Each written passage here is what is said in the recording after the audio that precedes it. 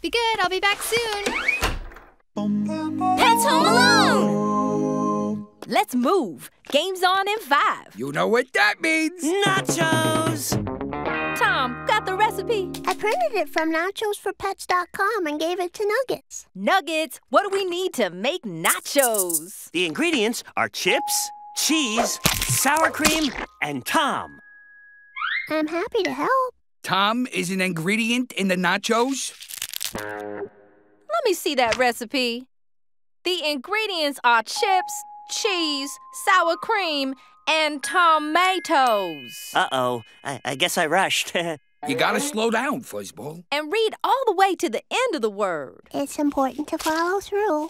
oh, I can do it now. The ingredients are chips, cheese, sour cream, and tomatoes.